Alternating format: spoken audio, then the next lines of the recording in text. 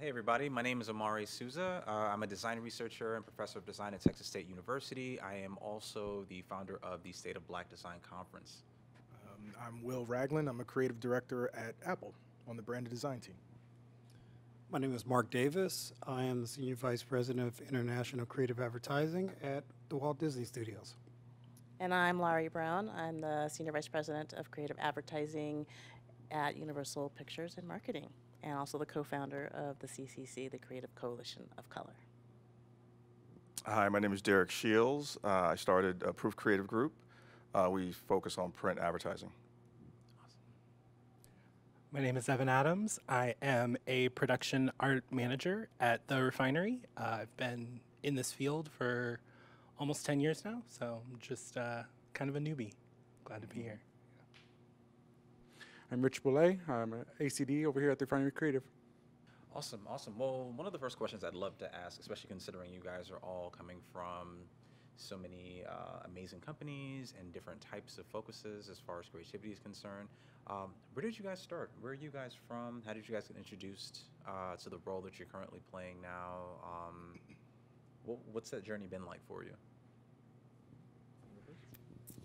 Um, let me give you the cliff notes. uh, I've got about 25 years in this business. Um, uh, I'm a Howard University grad, so HBCUs. Um, and outside of graduation, uh, I worked in the music business in DC for a while.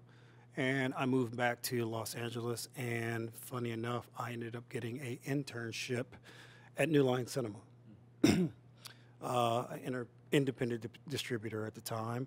Um, and from that internship, I, to make this quick, I took a role in the mailroom uh, that allowed me some time to really meet various different people in different uh, departments. Uh, I moved from the mailroom to corporate publicity. Uh, from corporate publicity, I ended up moving, becoming the overall marketing uh, coordinator for the field, for the floor. And over the course of that time, um, there was a gentleman named Chris Pula who was the head of um, advertising at New Line Cinema. And from time to time, he would um, he would take various different comps of the films and artwork, and he would put it outside of his office, and he would invite people to come by and just say, you know, what do you think? You know, let you know, give you a brief synopsis of the movie. What do you think best encapsulate what I just said? You know, and some people would take advantage of it, and I loved anytime he would ask me that question. And I always had an opinion, whether it was right or wrong. You know, creative is subjective. Um, and a role opened up on his team in the creative advertising group, and he offered me the position um, of a coordinator. And from there, um, I moved on from New Line. I got recruited to go to 20th Century Fox into the international creative group. I started there as a director. I worked my way up from director all the way up to senior vice president, uh, helping to run the division there. And just three years ago, as we all know, Walt Disney bought 20th Century Fox, and within the merger, uh, I moved over to head the international group there, where I currently am now. So it's been a long journey, but it's uh, it's been worthwhile. Yeah, I started out uh, as a post production person, uh, but in the film marketing industry, and I completely just stumbled into it. I had a friend who was an assistant editor on a film and needed some help, and I said, sure. And uh, I went to go work with her, and hook, line, and sinker, I fell in love with the industry because I'd always loved movies. I went from job to job learning about the industry. I was a finisher for a long while, so I would finish the TV spots and polish and clean them up before they went on air. And I wanted to be a bit more creative, so I started editing on the side and um, caught the eye of the company owner. And he made me his assistant producer. And I started working cuts and working with editors, and that was at Aspect Ratio. And I then hopped to BLT AV. I became a creative director. It was a small boutique company. um, of just a handful of editors. And so I worked on the agency side for about 20 years, and I've been at Universal for almost four. Uh, and I'm a global creative there, so I work on the movie posters, the trailers, TV spots for the Universal films, and internationally for MGM, UA, and Focus. Uh, so, quite a while ago. uh, I guess my early career is the Walt Disney Company. Uh, it was like early 90s. Uh, I didn't actually realize that there were departments and groups that did like movie posters and copy. I didn't realize like there's a full-on group of people that are behind the movie posters, the copywriting, the trailers. I didn't realize it. So uh, I started at Disney. It was like maybe 92. I had an opportunity. It was what everybody called desktop publishing at the time, which now we know is like the Apples. Everything's done on the computer. And uh, I started with Dick Tracy campaign, like early, early on, so in production, and and just kind of eventually moved my way up from a junior uh, to you know a designer to a creative director, and working mostly on animated print advertising. And I, I, worked at Disney for 10 years. I worked in domestic marketing, and then I moved to international marketing as well for a number of years. And then eventually, after 10 years, I left uh, and continued that process on the outside as a, as a vendor, uh, working with clients like Disney and Fox, et cetera, uh, to continue to create uh, movie poster advertising for, for the industry. In, in between that, I started at another uh, sort of trailer house, and I sort of founded a print division. And then I learned a lot of the, you know, sort of the ropes from there. And then I eventually started my own agency called Proof Creative Group. Uh, but we do a lot of the same things. We work with some of the same clients and doing a lot of, you know, print advertising and try to push the needle and, and do different things that are standing out. So, but again, I, if you would have asked me when I first moved to LA, like there's a whole team of people that just spend time coming up with hundreds and thousands of comps to promote one movie. I wouldn't never realize that existed. there's copywriters, like there's a whole world. So uh, it's you know mind blowing, but I end up doing it and loving it and passionate about it and still still doing it. Okay, I'll, I'll jump in real quick. um, I'm from Philly originally. Um, I've been doing it for doing this for about 20, 21 years. I ironically I didn't go to school for graphic design. I was a graffiti artist running around the street in the middle of the night with spray cans, stuff like that. And ironically, I learned more writing on walls than I did in art high school. Uh, it taught me placement, composition, because the higher up you put a piece of graffiti on the wall, the more visibility it got. The colors you use created better visibility. Um, I learned about making things more legible but stylistic at the same time. So it's ironic that once I started doing this, I just sort of had this innate sense to be able to to figure out what would work. From writing with spray cans, I got an opportunity. Some friends introduced me to a man who owned a record label called Ruffhouse Records. Um, he gave me an opportunity. He was starting a new company. He um, asked me if I wanted to design the logo. I was just learning Photoshop, so I did a lot of it by hand with watercolor and just scanned it in and tried to make it look three dimensional and cool. And he offered me a thousand dollars for it. So from there, um, working, he, he just opened up his relationships and his label with, to me. I got to work in New York at RCA Records, and from there, I was offered a job opportunity to work with Priority Records out here. So my first project was the soundtrack for Training Day. Like I was really excited to to work in LA, and like Derek said, I had no idea that there was an industry where you would get you could get paid yeah. for just being creative all day. So from there, I got to work at a company just like Lori at BLT Communications. Um, I worked in the theatrical print department. Started out in home entertainment, went to theatrical print. Started as a junior designer, left there as a senior art director. Went to become a creative director and then a VP of, of print at another agency, and I've been at Apple TV Plus for about 10 months now as a creative director, where I get to work on global print campaigns, some digital out of home, um, high impact digital things of that nature. But for the most part, I exist in the movie poster or TV key art world. um, well, you all have such inspiring stories to me. Um, I I can kind of piggyback off of a few of your your stories in that I began kind of self-taught at a very young age. Um, my father worked in computers, and my mother was uh, industry adjacent. She worked in event planning at ABC, um, so entertainment was always around me growing up.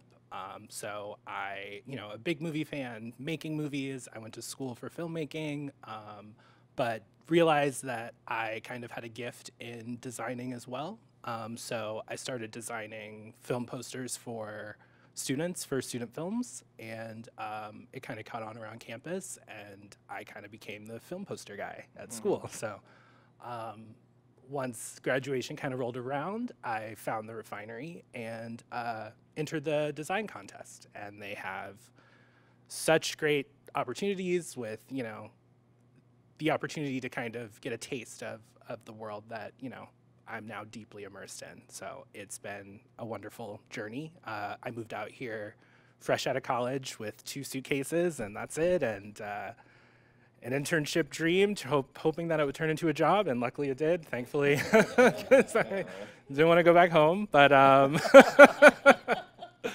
yeah, since then, you know, just I think it's really about who you work with and the the kind of relationships you build with people that guide your experiences. And you know, I've been blessed to work with a lot of great people. Yeah. Thanks. Yeah, I also come from a graffiti background, which is kind of interesting. So I did that since I was like 12 till I was like 20 something. Um, same thing. I learned my composition, my colors, my design theory, just everything through graffiti, and I give a lot of my credit to my success to that because I think it, te- it teaches you so much about working with people, how to respecting the art forms, respecting um, just kind of where you come from, connecting with people who are like-minded, and and creating a big mural or whatever with other artists that you just kind of collaborate with. And it's it's it's similar to this industry where it's like a team and everyone's just trying to get the same a good product done. And I find it so strange. I see so many people in this industry come from graffiti, which is awesome. But um, yeah, so I also did like an internship at Film Roman where they did The Simpsons and King of the Hill. So I come from like a traditional animation background where I was literally drawing with uh, pencil and paper. And then I thought I was going to do that, and I got to my final project in school, and I hated it. I was like, I'm done with this. Like, I don't know what I'm going to do. I'm just, I'm just over this. And then, as I got deeper into the industry, like it became, you have to animate, you have to. Um, everything was going digital, everything was going social. It's like design and animation became one, and I found that that just helped me. Cause I was like, oh yeah, I guess I'm an animator again, you know. Um, but I like to always call back to my graffiti background because I feel like that really helped me, you know, really made me be successful in this industry. Right, I'll add to, I didn't mention, because I'm from New York, so I was also, well, I don't know if you guys were arrested, but I was arrested for doing graffiti at a young age. Uh, But, but to your, to both your point, I mean, it- to me, it's like what we do is legal graffiti, right? We're doing outside advertising. Right, it's like you're doing something that you want somebody to notice and catch their attention, so it's very similar maybe not legal, but very similar. I mean, now it's like an art, right? Now it's considered, uh, but yeah, graffiti goes, takes me back uh, to my younger adolescence. I um I think the beauty of uh, what you guys just said in terms of like sharing your story, um, at least the beauty of what speaks out to me is the fact that uh, for many of you there wasn't a direct linear path. So some of you went to school for one thing, ended up falling into a new career. Some of you found mentors that helped guided you um, into the path that you're in. Some of you found this career through passions that you had. One thing that I find myself being asked as a professor, especially from parents and uh, college freshmen, is what do I need to do in order to be successful, or what do I need to do to find myself in some of these important roles, or, or, or, or working for these large name companies, or even starting my own business eventually? If we were to switch roles and you were to speak to some of these parents or to some of these students, what would you tell them they needed in order to make it? I mean, I would say the first thing is passion. That's key to all this. It doesn't matter what it is you want to do. It doesn't matter what position you want. It, it starts with passion. It starts with effort. You know, you can do anything if you give those two things. I would echo that. I would say definitely the passion. We're all in the movie business, and I assume we all love movies, right? That's that's a number one. Um, finding your passion, but it's also about finding a community, networking, and I know we all say this. That is really the truth. You have to find allies, not only in this town and this in this industry, but then within your communities. And if you know someone who somewhat is empowered in a way, it doesn't hurt to have a conversation. It doesn't hurt to continue to beat down the doors. That's the one thing I feel like that's missing a lot nowadays because everything is instant gratification.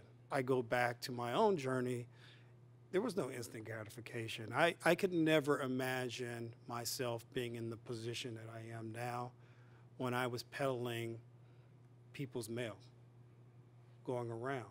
I had a drive and a determination to try to find my place and to continue to talk to people. And at some point, you know, everyone wants to be respected, and that's great to be respected, but every now and then you have to put your ego to the side to work to build for what you want. So I would say just passion, A, number one, and B, trying to build a plan that if you can find some people in your life or around your, your inner circle to kind of build with, use those as stepping stones to continue to, to build up. Add to that. I think um, everything that they said is absolutely perfect, dead on. But the one thing I want to add to it is sometimes that community, you have to be, I guess what I'm trying to say is you have to be open to criticism. That's one of the things, like, you need to find your passion, you need to find your drive. But if you're not able to be corrected, then it's hard to grow. And I think one of the things that I did that I benefited from was I was able to find the lessons in a lot of things that people would have found negative that would have made them quit. So if we're going to talk about it, we're going to talk about it. Being a black designer in this industry at times can be very difficult, you know? Um, and I think one of the things that's worked to my benefit in particular is I didn't get to work on a lot of stories that echoed my experience or my lifestyle. So it allowed me to be able to see things in different ways, to see things through a different lens or from another perspective. So when I did get to work on projects that were my story, I was able to really sink my teeth into them from a much more experienced perspective because I was able to tell so many different types of stories. So I think that if you're going to do this, understand first and foremost that it's going to be hard. And I think that I have children that are in their late teens, early 20s, and that instant gratification thing is real. I think that if you are in that age bracket and you want to get into this industry, you have to understand that some pain comes with growth. And you have to be willing to make those self sacrifices. You have to be willing to, to really anchor yourself and find that determination and learn from the failures so that you can potentially grow into a senior vice president. You can grow into a global creative that handles all types of things, or a business owner, or, or an associate creative director at a you know very large Hollywood agency. So, if you're able to do that, if you're able to find that motivation, and you're able to see both the positive and the negative as a way, or use it as a way to propel you, you'll be all right. You'll be able to make it. Yeah, I mean, of course, you guys said all the all the same things, and it's exactly on point. Um, yeah, it's just being passionate, but also consistent with that. You know, I think, I think when you say the immediate gratification, sometimes that comes with, well, I just got out of school, I need to make money, and that, you know, a lot of that stuff comes along with that. But I think in the beginning, I mean, when I started Disney, I worked 80 hours a week. And it wasn't anyone there, but I knew we had deadlines and we needed things to get done. And so it was less about money. It was more about really being proud of what we were trying to produce and doing the best job I could, even just starting. There was plenty late, late, late nights, and you know, but it's just being hungry and passionate and consistent, like constantly consistent. And I'll add to that, outside of the passion, which is really important, but yes, you do have to have a tough exterior. I think being an absorber of knowledge or just things that are going around you, to take that all in, to know what's going on in the world, kind of have your finger on the pulse culturally, so that you can take some of that information and put it into your work, uh, I think is helpful, especially when you're in this industry and you're trying to be a problem solver as well as being an artist. And I would tell parents to encourage their kids if they're talented at drawing or something like that to not discourage them. Shouldn't be just being a doctor or lawyer, or what have you. There are fantastic jobs, especially in this industry, that pay well, and they're not just jobs, they are careers. And that's part of what the CCC is trying to do is to let people know that there is a path and a journey here can be lifelong. We've been in this industry for 20, almost 30 years, some of us, and um, we all put our heads down and just worked and worked and worked because, yes, as a black person in this industry, as a woman, I've often been in a room at a meeting, the only woman or the only person of color in the room. So we all had to work hard and have our work speak for us generally. Because oftentimes you're sending your work over I'm not going to present it in the beginning of my career, so they don't know that I what I look like, who I am. So I'm working hard to make that work better than everybody else's, so that I can succeed and, and, and take a step forward. So I think that's really important is to that's where that passion comes in, is to keep pushing, keep working hard, take the punches, learn from them, and uh, keep growing. Um, I think everybody has amazing responses, and I think, you know, as veterans, I absolutely agree with all of you in terms of having a drive and a passion and really wanting it. Um, I definitely recall the the late nights and the the long hours and putting in the work and just trying to learn and understand how the industry worked as an intern and designing and design elements and learning from clients and there's just so many different moving parts that are important to understand that go beyond the design element that um, I think it's also important to, on top of those logistical things, is to just stay inspired all the time and just always be consuming art that you enjoy looking at, things that bring you happiness or things that can spark ideas or anything new, whether it's from something you're watching or something you see on the side of the road, even. Um, I found a lot of inspiration for work through just various means, and I think that's kind of how I keep going is to just stay inspired always. Um, one thing that I uh, thought of as you guys were speaking, um, I love the point that you made about finding your community. I love the points that you made about allowing your work to speak for yourself. And I love the point that you made about uh, the unique uh, difficulties of being a black designer in industry. Um, the question that I would like to ask you guys, uh, considering the level of considering the level of success you guys each have, how do you navigate the nuances of your blackness within the workspace, especially coming from, you know, Philadelphia, New York City, Atlanta, cities that have high diversity rates, and then going into an industry where there are not many people that look like you? I mean, that's a really, it's a really, that's a great question. It's a personal question. Um, you know, you, you, and I think I can tend to speak for all of us here. You get emotional because it's not easy, and it's still not easy. And, you know, um, some of us said, or we've been in this industry over 20 years. And you can literally count on your hand the numerous times that you've been in a major room with another person of color, with someone that looks like you, with someone who identifies with you.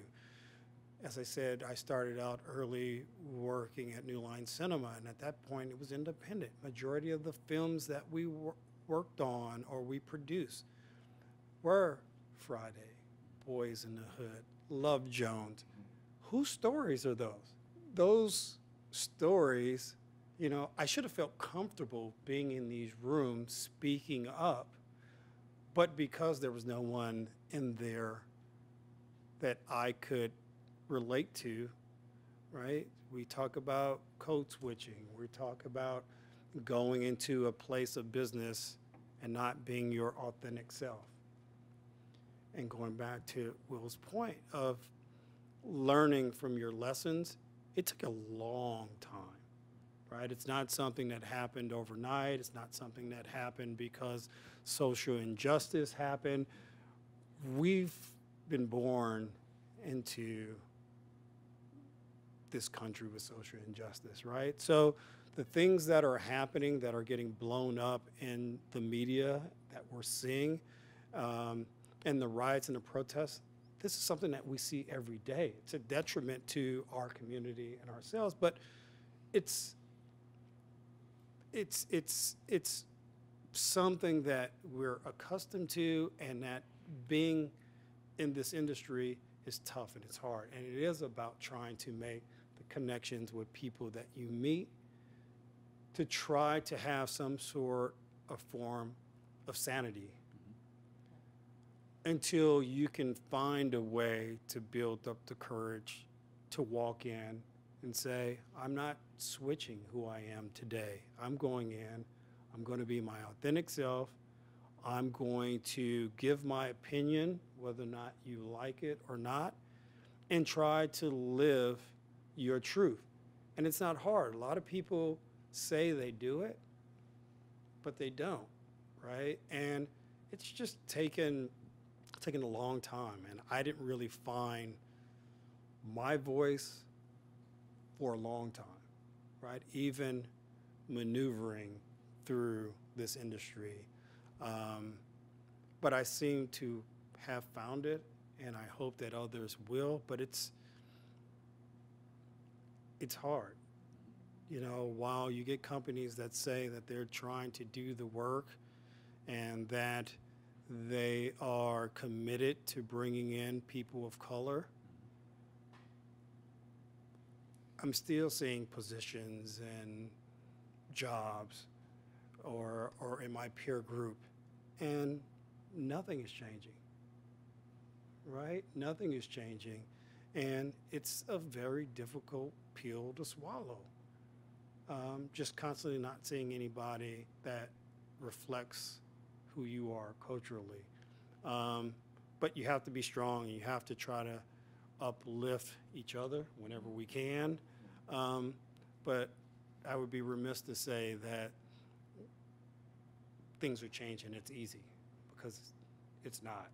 And when I log on to that Zoom tomorrow, I'm going to look at those multiple boxes and I probably will still be saying, scrolling through, see if there's a new face or there's someone there. You just, you hope for the best, but when you're in it, you just have to try to be as authentic as you can and try to be that voice in the room. Yeah. Uh, I agree, it's a very personal question. Uh, I mean, I guess for me, I, I feel like sometimes I'm naive, right? Obviously, not to the fact of what I look like to the world, but I guess whatever my mom ingrained in me, I just moved through. So when I started at Disney, I was probably the only black person in marketing. Uh, but I never felt any certain way. I, much like what you said, to letting the work speak for itself. Um, and I was probably rogue, and I spoke my mind, maybe crazy to a point where it was like, do I know what I'm doing in this, you know, arena? It didn't matter. I just was kind of flying with it, right? I wasn't overly a certain way. I wasn't overly stereotypical. I didn't also sacrifice who I was, you know, as a, as a black male coming from New York City. Maybe there's the New York City sent, you know, sentiment to me that's just like I'm gonna come in a room and you're gonna accept me for who I am, whether you like it or not but that was just eh, you know i never felt a any certain way. I just moved and breathed. Not to say that maybe i might not have been called out my name in certain situations not necessarily in corporate america but i never felt necessarily out of place. And again maybe that's the naiveness of me just feeling like i'm a creative person and i'm going to show you the best work i can give and I'm sure there's been sidestepping and different things that were uh, done, but I never really looked at it from that standpoint. I just was me ultimately and tried to shine that regardless of, didn't matter what room I was in, whether it was predominantly white or not, at least personally for me.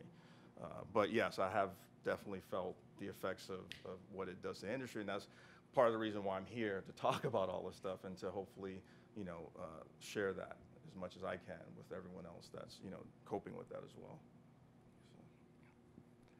So. Um, yeah, I actually can speak to that experience. Um, being young um, and being, you know, in this generation of people who kind of are a little bit more open about social change and being um, politically active and being, you know, having a voice and standing up. I've I've found myself um, trying harder to kind of stand in my blackness and stand in, you know, my culture and my heritage um, because I know that sometimes I'm going to be the only one in that room. And I know that as people of color, we all, you know, know that this industry has ways to go, just like the film industry does. And, you know, it kind of, they kind of work parallel to each other. So as the more stories that, you know, are being shared for from diverse backgrounds, you know, we get to promote and create for those wonderful stories. So I think that in that, as the growth continues, that we'll start to see those changes. Hopefully, I can only be optimistic as I can, um, but that's kind of my my mindset as I go into things, as to just kind of be myself and uh, stay optimistic for sure. Unapolog- unapologetically black. Yes, Right? absolutely. All right, so I agree with what everyone said that it's a very personal question. Um, the one thing I'll, I'll add to what everyone has already said so beautifully is I think the first 10 years, I've been doing this for 20 years, the first 10 years, it was more so about trying to find my, find my place because what, with what I was doing, there was not anyone else that looked like me. And even once I started getting to some of the senior level positions, there was probably like and I don't I don't mean to sound like a braggart when I say it, but people that were doing it on my level, there was probably maybe one other guy that looked like me in the entire industry um, on the agency side. Um, but the one thing that I've that I found initially was it was like trying to fit in, you know, trying to find you know my voice within this community that didn't represent me essentially. Um, you know, when I came from Philly, I spoke with Philly vernacular. I said jawn a lot and bruh and boy and you know what I mean, you know what I'm saying at the end of every sentence. And the one thing that I am appreciative appreciative of is I learned how to speak. I learned how to express myself. I come from a place where, you know, you don't use your words to express. You you you do it in some other way. Um, but I, I, I I'm grateful that I learned that. I learned how to communicate and there was a time when I would not feel that I would be able to adequately es- express myself with a group of accomplished people like this. Um, but today I do, and I attribute that to that experience. I think after the 10 year mark, I said, no, I'm gonna be unapologetically me. I'm gonna be funny. I'm gonna be, you know, rude when I wanna be rude. I'm gonna speak my mind, and I'm going to represent what I know, my artistic form, with the experience that I've acquired, and with the full breadth of my artistic talent. And I think I can speak for everyone else here when I say that there's no other way to be at the end of the day. So um, I appreciate what everyone else has said. It helps me to see that I'm not alone in this journey. And I think that um, I wouldn't liken myself to be a pioneer in any stretch of the imagination, but I feel as though um, I heard about Derek Shields when I first came to LA. And I'm not saying he's older than me. He was just here before me, right? Um, but I heard about him. Like Lori introduced me to this gentleman right here, and I've been, have been wanting. I've heard his name for years, and I've been wanting to meet him. He's somebody that looks like me, that's doing it on a high level. Um, I worked with Lori at BLT back in the day, and I watched Lori like climb. You know, so I feel like there's an example that you can, if if you aspire to do this, whoever's out there, there's an example that exists at this table that is very emblematic of the process, um, the the courage, the struggle, the creativity. Like, please listen to what these people have to say because um, I've watched them for years and it's it's inspired me. Yeah. I think um, one thing that I really uh, want the folks that are actually watching this to take into consideration um, is that with any individual that you look at that has a considerable amount of success, there's probably an equal um, or a parallel. Or, I'm sorry. There's probably an obstacle that they had to overcome that's just as impressive as the achievement that they've made. Um, and one thing that folks may take for granted with the titles that you have and the years of experience that you guys may have under your belt is the difficulty that it took for you guys to get there, especially with that very same question that I asked you, navigating the uniqueness of your blackness. A lot of people take for granted how difficult it is to be the only one of anything in a particular room, whether that's the only person of color, the only person with your gender identity, the only person of your religious background or cultural um, experiences. Um, and for you guys to be able to do that, navigate that for the, the amount of time that you guys have, and, and, and still do so well while maintaining your sanity is something that should be applauded.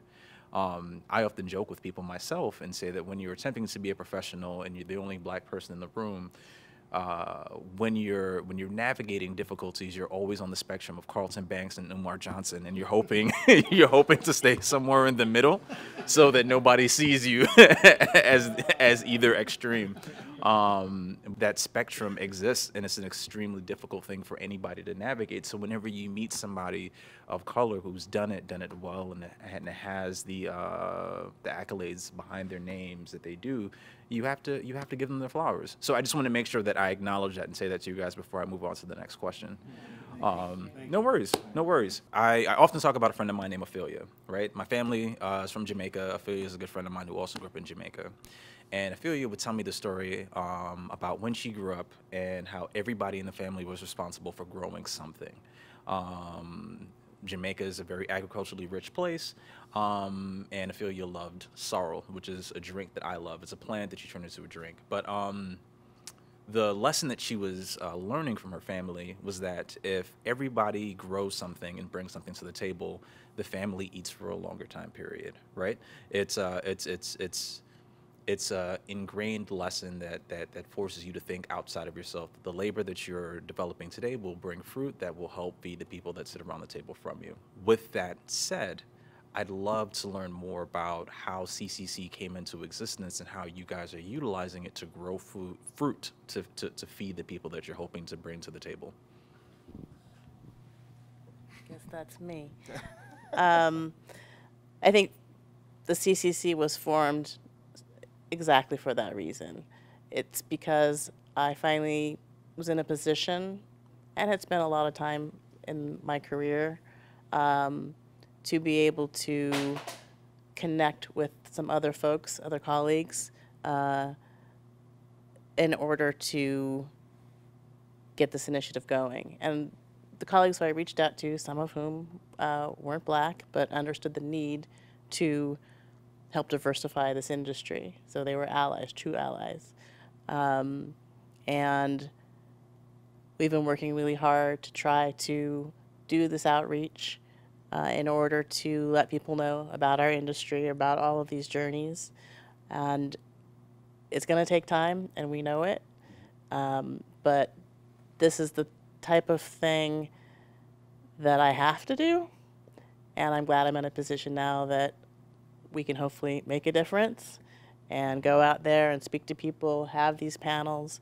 Um, so that is the purpose of the CCC because nobody else is going to do it. We are the first uh, in the industry to have this platform where we're encouraging agencies and studios to post their jobs, to post their internships on one site because it's a large industry and it's and, and we've fallen into it you got lucky with your internship. So it's tough to find out that we exist. A lot of people think that filmmakers do their own marketing and do their own posters and trailers, and that's just not the case. We are, I think, almost 80 agencies in this industry, which means thousands of jobs. We're a huge industry, and we're trying to let people know about it. As we're going out there, we're finding it's really interesting to see how few people know about us. So it is going to take some time. Um, but we've already seen some successes. We had a pilot internship program last summer, uh, and three of those people uh, actually transitioned to full time jobs. So we know that this little initiative can work. It's just going to have to scale up down the road. So I'm, I'm incredibly happy that we met and we're connected, and that you may be able to reach two to 4,000 people with your conference coming up, which is in- incredible. So just having steps like this um, that we hope to say, hey, we're here, because we often work in our bubble. It's hard work, and basically what we do for 12 hours a day is work. So to find the time to do the extra stuff um, is hard, but it's worth it to us. So um, I want to also thank everyone for their time to come here, get tested, and and meet Omar, and for you to travel out here. Um, so we just want to spread the word. No, that, that definitely does. Um, the next question I have is easier than the other questions I've asked prior, um, but it's uh, it's it's twofolded. It's more so, um, what are some of the measurable successes that you're hoping that CCC can have within the next five years? And for those that are in attendance that are watching this panel currently, uh, I know we talked about careers that people didn't know existed that you guys have happened to have worked. What are some of those roles and, and, and, and job titles that, that are possible um, if, they, if they took a chance on uh, being a creative in the movie industry? It's anything. It's any job. It's anything anyone's talked about. Like I said, it's just getting your foot in the door in our industry. So you could be a creative designer, you could be a shop owner down the road. So it's it's anything. It's it's it's. I mean, you if you want to talk about art directors and what they they do, um, I'd gladly hand the mic over to someone to give a little more in-depth detail about their particular journey, which I think we might have already covered. But it's any job. I would say get your foot in the door if you have that passion that Richard talked about, if you love movies, maybe look at trailers and posters and um, get up to speed and start paying attention so that when someone asks you, well, why do you want to be in this industry? What posters do you like? You're going to have an answer. So I'd say look at what's around you. And if you like this industry, if you want to be creative with your career um, and use your skill set either starting out or transitioning from a different um, type of industry, There are a lot of things. I, I, I agree with getting your foot in the door. You know, I started in domestic advertisement, right? And I had the opportunity to move over to international. And this is another sector that I don't think a lot of people, you know, quite understand is that really opened up my mind, my creativity. I started to respect and understand culture. To be able to open your mind and be open to the idea that sensibilities are different, mm-hmm. right? The things that you hear um, that work in certain cultures, it's so easy to dismiss.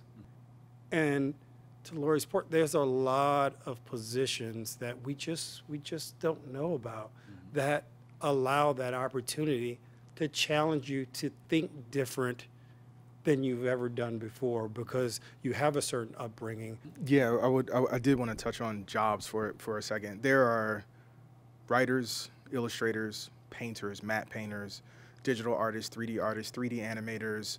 There are people whose job is just to cut images out all day. You know, there are people's who who sit like you know rotoscoping images, um, doing motion tracking, uh, color correcting, sound design.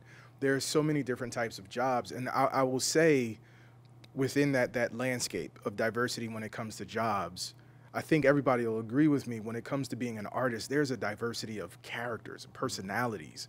Artists, I'm just be honest, we're weird people to begin with, you know, and I don't mean that in an insulting way. I've met some unbelievably introverted people, but their creativity was explosive. Mm-hmm. So I think that a lot of young people that I've talked to, they feel like, oh, I wouldn't fit in, regardless of color or gender or, or what whatever your background is. Their your personality will fit. Your your your size, your skin color, your hair texture, whatever, whatever you are, you can fit into this, and there is a position for you if you have that passion that they were talking about before. Yeah, I mean, to that, uh, to that point, like, for example, when I interview people, somebody might come in, you know, thinking they just have to have movie posters, but maybe they don't. You know, I've hired people who've done just sound design, and but they had a passion for it, and I was able to tap into that. So you're right about the personalities. You bring you bring you to the table. It's not a cookie cut situation where it's like if you just bring me this because that's what you think I expect. I'm looking for so many other things, and, and maybe I'm rare, but I think we all are looking for someone who's creative and is thinking and is passionate. So whatever that is, it may not fit like the exact box, but because you showed in your personality that you're creative or you're passionate, that might still fit somehow. That's not exactly checking the box. excuse me.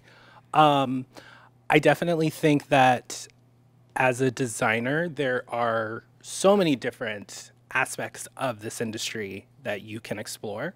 Um, so my advice would be to just kind of be able to adapt and change to you know what comes next because streaming now in the wake of you know covid-19 has become kind of the center and and my job kind of shifted more from the print aspect to you know designing for streaming and packaging up you know large amounts of assets. And so and that was you know a whole other design language i had to learn and you know the things that they ask for when you're sitting on a tv versus when you're passing on a billboard. And you know just lots of various different nuances in in the various positions that you know there are so just always being open to change and learning new things i definitely think um, is a good a good starting point yeah rich I think what's great about our industry in general too is it, it feels like it's been around forever, but it's actually just starting too, right? Like it's still day one because tomorrow's gonna be so different. And next day and next day, it's like we're gonna be, you know, long gone 50 years and be in a whole new um, kid who's watching this video who's gonna come and he's gonna be sitting here with us or where we were, you know. And I think that's amazing. I think it's like I started with DVD, then went to Blu-ray, then I went to like iPad apps and iPhone apps, and I started the refinery as a print. I want to be print, and I went to digital and creative content. It's like it just moves, and like now it's like with NFTs and the crypto world, it's like we don't even know where it's going to be next month, let alone ten years from now. You know, so it's like if you're at home watching this or whatever, it's like whatever you're watching, it's like you can make it in the future. You know, because we're still going to be around. Like this industry isn't going anywhere. It's like it's a career for 50, 60, 70 years for you if you start young. You know, it's it's amazing. And I'll, I'll add one last thing, which I think it also comes down to just ideas. So that if you're working at this agency, um, they're going to be excited if the idea comes within these four walls that they present to the studio or the client that wins the campaign for them. So your experience, your point of view, your perspective is something you can add to the gumbo of what's being created on a day-to-day basis. It's a really collaborative process. So you might not come up with an idea and it's a whole cloth answer to an entire campaign or a, a poster or, or, or way to animate something, but your input can definitely help change the trajectory of a project or a piece of work. So as long as you're thinking and you're creative and you're interested and engaged, an idea is sometimes all that it takes and you're contributing. You're always contributing. So and that's appreciated and you can respect your peers and collaborators. So you're always firing on all cylinders and that's what i find um, inspiring and that's what keeps me going. It's just that constantly always changing thing it's fresh it's new and you're not just making widgets and putting that out in the world it changes every day Yeah, I think that's I think that's amazing. Uh, just to recap the conversation we've had so far, some of the things that I want to make sure that everybody takes away as they're watching this. Um, you guys have each accomplished some amazing things. Not only have you guys accomplished some amazing things, but you guys are all coming from different parts of the country. Um, you guys aren't all from LA. You guys didn't fall into this career, but you guys fought and uh, found your way here through passion, grit, and talent. Um, you guys didn't have to go through a formal education process to become creatives in this industry, um, although some of you have. Um, but a lot of you, um, all of you, have that passion and creativity in common. Um, another thing that I want everybody to, to recall and, and, and, and just to, to, to take a moment to, to, to give reverence of is the fact that you guys had to overcome a lot um, to be where you are, whether it's navigating the uniqueness of your blackness in a space that doesn't have many of us there, or even uh, the difficulties of packing up your bags from Florida State and then moving all the way over to Los Angeles without the certainty of a career. You guys have all done uh, done and sacrificed a lot to be where you guys are today, and that's something that, that should be acknowledged and celebrated. In addition to that, I, I, I want everybody to to kind of respect and appreciate the uniqueness of CCC, um, both as a resource where you guys are pulling together other agencies that are looking to hire people that look like us. Echoing back the, the metaphor of um, growing something, um, you mentioned how uh, the, the, the progress that's needed to be made may not happen within our, lives, our lifetime. But I think the beauty of agriculture sometimes that a lot of people also don't necessarily discuss is a single plant usually comes with a number of seeds. And even when that plant dies out, those seeds can grow and build future fruit further down the line. So I think for what we're doing, what we're attempting to do, and what you guys are doing within the film industry is something that we don't necessarily, we, we just as you've mentioned, we may not know what things look like 10 years down the line. We may not know what things look like a year or two after we pass, but if we continue to put this work in and we continue to uh, nurture spaces for one another and pull our tables together, um, whether it's a state of black design in, in, in, in in uh, collaboration with CCC, we we don't know what what what fruit will bear.